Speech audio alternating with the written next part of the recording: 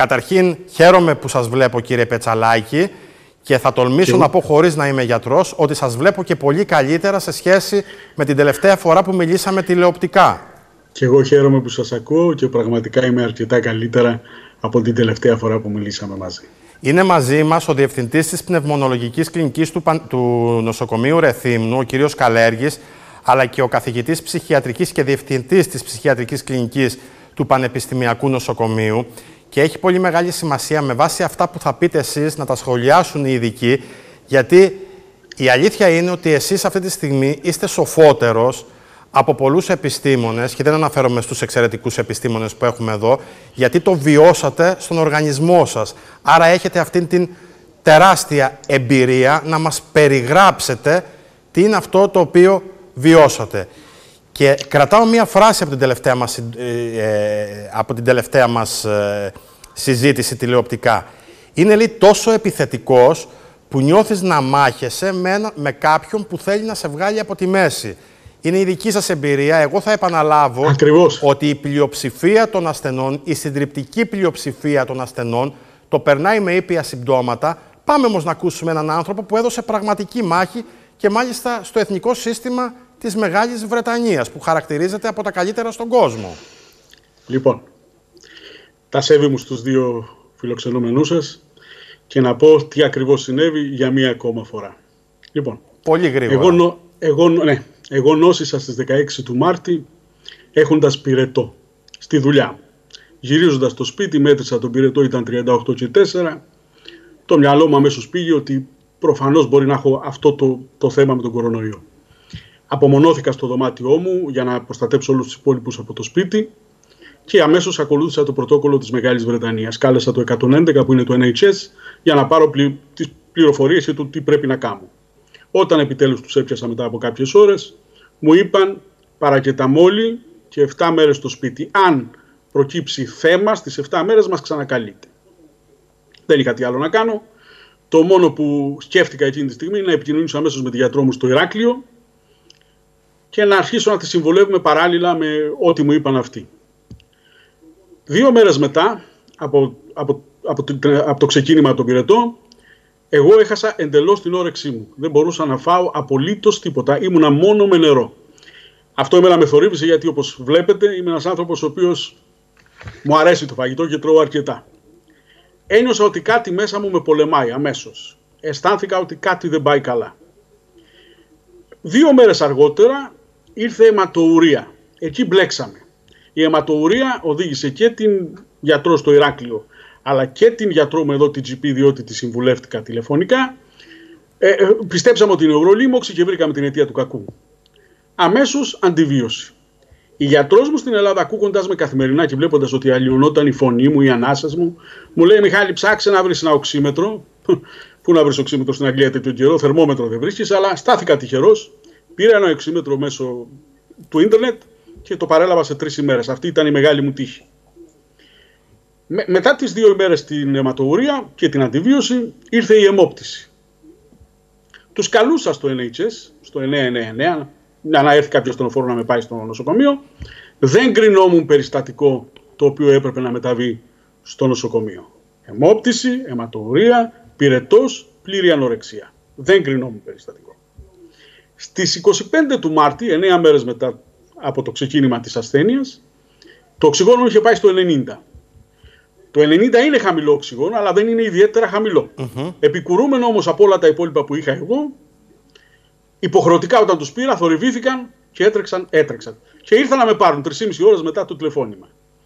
Χωρίς αναπνοή ουσιαστικά. Εγώ είχα μεγάλο πρόβλημα.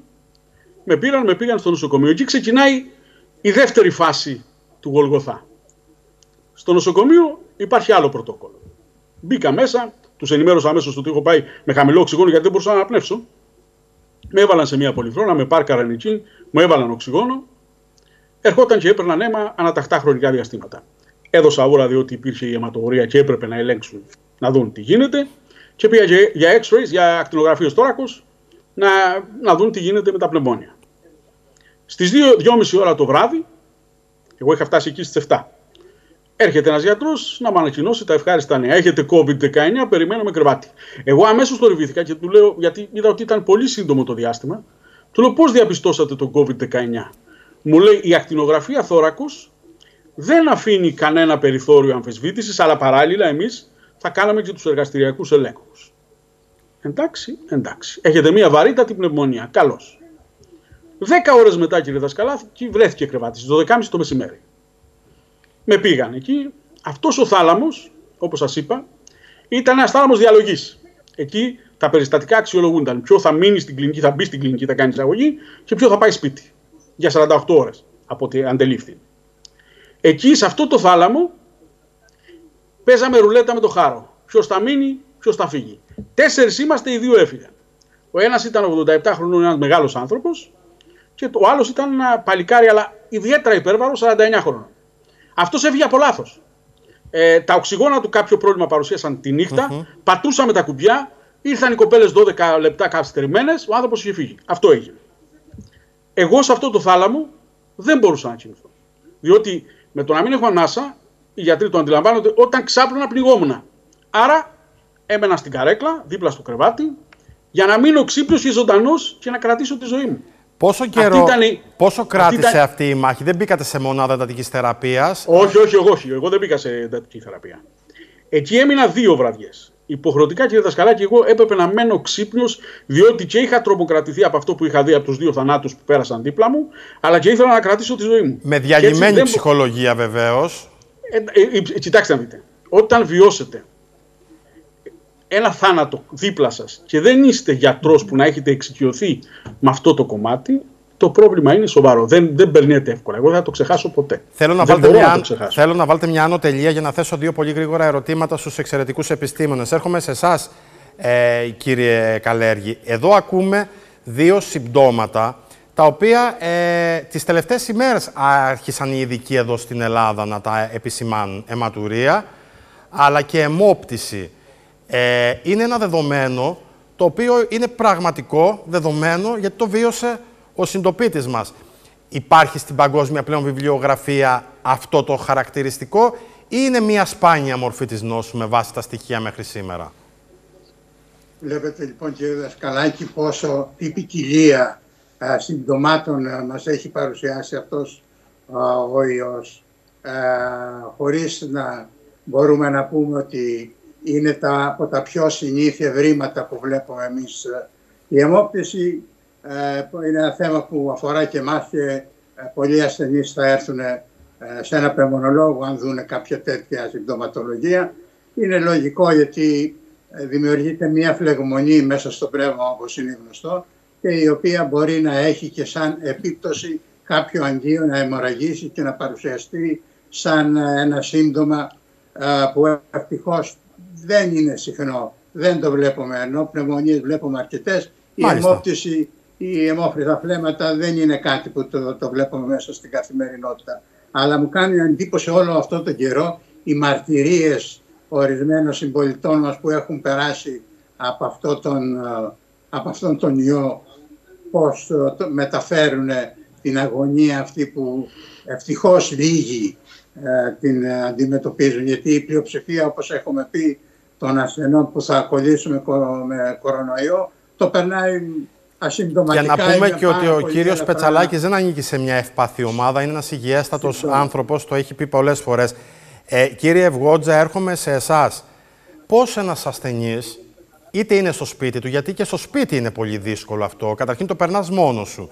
Αλλά πόσο μάλλον όταν είσαι στο νοσοκομείο και βλέπεις ανθρώπους δίπλα σου να πεθαίνουν από αυτό που εσύ νοσείς.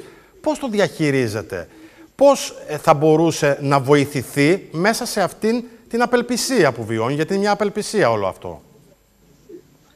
Κοιτάξτε, νομίζω την απάντηση μας την έδωσε ο ίδιος ο ασθενής και παρακολουθούσαμε πολύ προσοχή τον κύριο Πετσαλάκη. Είπε στην ουσία ότι δύο άνθρωποι δίπλα του κατέληξαν και είπε εγώ θα μείνω ξύπνιος γιατί θέλω να ζήσω. Ε, Νομίζω αυτή είναι η απάντηση. Ότι ο φόβος απέναντι στο θάνατο είναι κάτι φυσιολογικό, κάτι πολύ υγιές. Και να το μεταφέρω αν θέλετε και σε ένα γενικότερο επίπεδο, Εάν αυτή τη στιγμή εφαρμόζουμε τα δύσκολα περιοριστικά μέτρα με βάση το φόβο, αυτό δεν σημαίνει ότι γίναμε φοβικοί. Είναι ένα πάρα, μια πάρα πολύ υγιής αντίδραση. Επειδή, όπως μας είπαν και οι αρχαίοι μόνοι πρόγονοι, αλλά και μετά, η ζωή είναι ότι πιο πολύτιμο έχουμε. Πάνω από τον πλούτο, την ομορφιά, τη δόξα, την εξυπνάδα, είναι ότι πιο πολύτιμο έχουμε. Διάβαζα πρόσφατα, προχθές, σε μια εφημερίδα, την άποψη ενός ψυχαναλυτή, που έδινε έτσι και κάποιες, αν θέλετε, περίπλοκες απαντήσεις. Ε, από ένα κράτησα από όλα αυτά. Είναι ένας μεγάλος άνθρωπος και πολύ γνωστός και συγγραφέας. Η δημοσιογράφος του έκανε διάφορες ερωτήσεις προσπαθώντας να ανακαλύψει τα βάθη της ψυχής, αλλά ξέρετε καμιά φορά τα πράγματα είναι πολύ πιο απλά. Και είπε το εξής κατέληξε έτσι στη συνέντευξη ότι τελευταία αρρώστησα και είχα μόνο μία σκέψη, ότι δεν θέλω να πεθάνω. Αυτό που μας είπε ο κύριος Πετσαλάκης, νομίζω αυτό είναι και υγιές και πολύ σημαντικό για να αντιμετωπίσουμε αυτή τη φοβερή απειλή. Άρα κύριε Πετσαλάκη, χωρίς να είστε ψυχίατρος, αυτή η ανάγκη να είστε σε εγρήγορση σας κράτησε και δυνατό για να το ανάγκη, αντιμετωπίσετε. Η ανάγκη της επιβίωσης, κύριε Δασκαλάκη. Όταν ο θάνατος είναι δίπλα, εσύ προσπαθείς να τον νικήσεις. Και για να τον νικήσεις δεν πρέπει να του δώσεις το όπλο να σε σκοτώσει. Εγώ φοβόμουν ότι θα πεθάνω αν κλείσω τα μάτια μου και κοιμηθώ. Και έτσι υποχρεωτικά έμενα ξύπνιο. Δεν υπήρχε άλλη λύση, καμία. Επειδή λοιπόν τα καταφέρατε και είστε ένα ε, επίσης αισιόδοξο παράδειγμα ε, σε ένα πρόσωπο ε, κράτος, σίγουρα εκεί οι αριθμοί είναι δεκαπλάσιοι σε σχέση με την Ελλάδα, άρα αντιλαμβανόμαστε ότι και ο τρόπος που διαχειρίζονται στα νοσοκομεία Τώρα δεν θέλω να πιστεύω ότι ε, ε, υπάρχει και η λογική δεν είναι Βρετανός, είναι από άλλη χώρα της Ευρώπης. Όχι, όχι, όχι. Τέτοια λογική δεν υφίσταται. Απλά υπήρξε κακό διαχείριση και αυτή την ώρα, όπως έχουμε πει, το σύστημα εδώ κράσαρε. Δεν μπορεί να, ε, η ανθρώπι, το ανθρώπινο δυναμικό κάνει ό,τι είναι ανθρωπίνος δυνατό για να σώσει ζωές, όπως το κάνουν πιστεύω παγκόσμια και παντού. Δυστυχώς, εδώ το σύστημα έχει καταρρεύσει. Κύριε Πετσαλάκη, όταν ναι. γυρίσατε στο σπίτι σας, ναι. ε, ο φόβος παρέμενε; Ή... Βεβαίως. Ε, τις πρώτες δύο ημέρες, τις πρώτες, θα σας πω κάτι, το πρώτο βράδυ δεν κοιμήθηκα. Γύρισα στο σπίτι μου, αλλά δεν κοιμήθηκα. Και φαντάζομαι ότι για την οικογένεια εξαιρετικά δύσκολο. Ε, κοιτάξτε να δείτε. Φεύγοντας από μια τέτοια εμπειρία, εγώ από εκεί έφυγα σε πολύ, δεν μπορώ να πω πολύ, σε καλή κατάσταση σκεφτείτε ότι με ξεκίνησαν με 10, 10 ε, λίτρα οξυγόνο και έφτασα τελικά να φύγω στο 0. Να φύγω χωρίς την ανάγκη της υποστήριξης του οξυγόνου, αλλιώς δεν θα έπαιρνα κιόλας. Όταν ήρθα στο σπίτι, οι ανάσες δεν ήταν σωστές. Η φωνή δεν έβγαινε όπως έπρεπε να βγει. Άρα, εγώ το πρώτο βράδυ επέλεξα να. Δεν μπορούσα και να κοιμηθώ, αλλά επέλεξα να μην κοιμηθώ. Εξαντλήθηκα βέβαια και κατά τη διάρκεια της δεύτερης ημέρας, αλλά είχε φτιάξει κάπως η ανάσα, κατάφερα και κοιμήθηκα. Αυτό Τώρα πλέον όλα έχουν έρθει κανονικά. Και αλλά χαιρόμαστε ιδιαίτερα. Χαιρόμαστε εξαιρετικά γι' αυτό. Αυτό κύριε Βγότζα θα μπορούσε να είναι και μια ανθυποβολή. Δηλαδή ένας άνθρωπος που βιώνει ένα τέτοιο σοκ μέσα σε ένα νοσοκομείο, έχοντας πλέον αποθεραπευτεί και γυρνώντας στο σπίτι του να νιώθει ότι ο ιός καραδοκεί ακόμα; Κοιτάξτε, είναι ένας φόβος, είναι ένας φόβος πραγματικός ο αγαπητός φίλος αισθάνθηκε αυτό το φόβο του θανάτου. Ε, ξέρετε, δεν υπάρχει ποτέ σε καμία, κανέναν πολιτισμό ε, διαχρονικά ε, οι άνθρωποι να θέλουν να πεθάνουν. Οι άνθρωποι θέλουν να ζήσουν. Ακόμη να μεταφερθώ και σημερινή Μεγάλη Εβδομάδα και ο Χριστός ήρθε με το θάνατό του να πατήσει το θάνατο. Υποσχέθηκε ζωή. Άρα το ότι οι άνθρωποι θέλουν να ζήσουν είναι το απολύτω σωστό, το απολύτω υγιές. Θέλω να το καταλάβουμε αυτό. Ο αγαπητός αυτός φίλος αισθάνθηκε ότι οι άνθρωποι γύρω του πεθαίνουν και είπε «Ωχ, αυτό είναι και για μένα, όχι θα το παλέψω». Είπε κάτι πολύ χαρακτηριστικό, επειδή σπουδάζω και τον ύπνο όπως ξέρετε. Είπε έμεινε ξύπνιος, δεν ήθελε να το βρει ο χάρος στη νύχτα στο σκοταδι που μπορεί να έρθει με ένα ύπουλο τρόπο να μας αρπάξει το σώμα και την ψυχή και έμεινε ξύπνιος. Έδειχνε τη θέλησή του να τον παλέψει. Και αυτή η θέληση ξέρουμε σε εργασίες από άλλες νόσοι όπως είναι η καρκίνη και άλλα βοηθάει πάρα πολύ στην επιβίωση των ανθρώπων. Άρα δεν θα το έλεγα αυτή πολύ είναι μια δύναμη που οι άνθρωποι αισθάνονται, βάζουν, μαζεύουν όλες τις δυνάμεις, τις σωματικές και τις ψυχικές, σε αρμονία αυτές οι δύο διαστάσεις του ανθρώπου και βοηθούν στην επιβίωση στο να ζήσουμε. Λοιπόν, ε, θα αποδεσμεύσω τον κύριο Καλέργη. Κύριε Καλέργη, πάντοτε η συμμετοχή σας στις εκπομπές μου είναι καταλητική. Η ειδικότητά σας έχει έναν πολύ ουσιαστικό ρόλο. Βρεθήκατε στο ίδιο σπίτι με τους δικούς σας ανθρώπους και την ίδια στιγμή οι δικοί σας άνθρωποι παρακολουθούσαν την εξέλιξη της νόσου χωρίς να μπορούν να είναι κοντά σας. Αυτό είναι κάτι πάρα πολύ δύσκολο για έναν ασθενή. Κοιτάξτε να δείτε. Εγώ στο Λονδίνο είμαι μόνος. Η μεγάλη μου κόρη βρίσκεται στο Λονδίνο, αλλά ζει στο δικό της σπίτι. Η υπόλοιπη οικογένεια ήταν στην Ελλάδα, η οποία παρακολουθούσε βέβαια τα πάντα μέσω της τεχνολογίας και μέσω του τηλεφώνου, μέσω του Messenger. Εγώ δεν μπορούσα να μιλώ. Μου έκαναν κλήσεις και απλά κουνούσα τα χέρια. Και με έβλεπαν με τη μάσκα. Δεν μπορούσα να μιλήσω με κανέναν. Ε, ε, τουλάχιστον τι τι, τις πρώτες μέρες της νοσηλείας. Μετά διορθώθηκε κάπως το θέμα. Άρα και για αυτούς ήταν δύσκολο, διότι δεν είχαν την ενημέρωση που έπρεπε να έχουν, διότι εγώ δεν μπορούσα να τους ενημερώνω κάθε λίγο και λιγάκι, αγωνιούσαν όλοι, ε, και εγώ ήμουνα σε μια κατάσταση η οποία ψυχολογικά δεν ήταν και η καλύτερη δυνατή. Είχα βέβαια ανθρώπους... Άρα στο σπίτι σας μετά ήσασταν και μόνος σας, η δυσκολία συνεχίστηκε και στο σπίτι. Βεβαίως, βεβαίως, βεβαίως. Βεβαίως. Γι' αυτό σας είπα ότι εγώ δεν κοιμήθηκα το πρώτο βράδυ εδώ. Διότι θεώρησα ότι δεν ήμουν ασφαλής ακόμα. Μάλιστα. Δεν είχα τις ανάσες που έπρεπε. Εγώ γύρισα και η ανάσα μου ήταν. Ε, μπορούσα και δεν μπορούσα να αναπνεύσω κανονικά. Μάλιστα. Κύριε καθηγητά, πόσο δύσκολο είναι, και αυτό το επεκτείνω λίγο το ερώτημα, και για κάποιον που είναι στο σπίτι με κορονοϊό και με ήπια συμπτώματα, πρέπει να είσαι δύο εβδομάδες μόνος σου. Πώς το διαχειρίζεται αυτό ένας άνθρωπος και πώς το διαχειρίζονται και οι δικοί του άνθρωποι που έχουν την αγωνία; Κοιτάξτε, ε, είναι όντως ένα πολύ παράδοξο πράγμα να μην μπορείς να έχεις την υποστήριξη των δικών σου ανθρώπων. Στην ψυχιατρική συχνά πυκνά μιλάμε ότι αυτός ο ασθενής θα πάει καλύτερα γιατί έχει υποστηρικτικό περιβάλλον. Αυτός δεν θα πάει καλύτερα γιατί δεν έχει υποστηρικτικό περιβάλλον. Ας μην ξεχνάμε όμως κάτι, ότι έχουμε να κάνουμε με κάτι οξύ, με κάτι απρόβλεπτο και με κάτι φοβερό. Απειλεί τη ζωή μας. Δεν είμαστε καλά, είμαστε υγιείς, πηγαίναμε στις δουλειές μας, ζούσαμε τις οικογένειές μας, ζούσαμε τη ζωή μας. Ξαφνικά η ζωή μπορεί να απειληθεί. Αν είναι όντως έτσι τα πράγματα, που είναι έτσι τα πράγματα, ε, τότε όλοι προσαρμοζόμαστε και ακούμε τους γιατρούς. Θα σας πω κάτι μέσα στην ε, διαδρομή μου την ιατρική και την επιστημονική έχω συναντήσει πολλούς ανθρώπους οι οποίοι από φύσος είναι χαλαροί, απίθαρχοι κτλ. Δεν ακούνε ας πούμε τους κανόνες που λέει για το τσιγάρο ή τη διατροφή, την άσκηση κτλ. Όταν όμως έρχεται να απειληθεί η ζωή τους, ε, το μεγαλύτερο ποσοστό από αυτούς ε, προσέχουν πάρα πολύ τι τους συνιστούν. Νομίζω λοιπόν εδώ, εάν το, ο ίδιος ο ασθενής και το οικογενειακό περιβάλλον πιστεί ότι αυτό που κάνει το κάνει για κάτι τόσο πολύτιμο όπως είναι η ζωή και δεν το κάνει για πλάκα ή μια ιδιοτροπία κάποιων γιατρών ή κάποια ιδιοτροπία κάποιων πολιτικών που εφαρμόζει η κυβέρνηση, τότε τα πράγματα νομίζω μπορούν να κυλήσουν πιο εύκολα από Υπάρχουν κάποια μυστικά για έναν άνθρωπο που μπορεί να είναι στο σπίτι του, κύριε καθηγητά, με ήπια συμπτώματα που θα μπορούσαν να του μετριάσουν το φόβο του.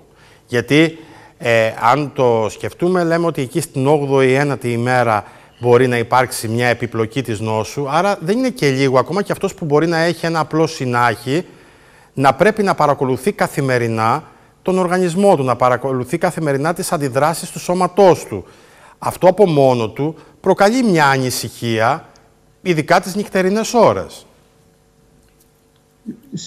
Απόλυτα σωστό αυτό που λέτε. Εγώ θα έλεγα όχι απλώς ανησυχία, φόβο, εφιάλτη, άσχημα όνειρα, αϊπνία, αυτό που είπε ο αγαπητός φίλος από το Λονδίνο. Όλα αυτά.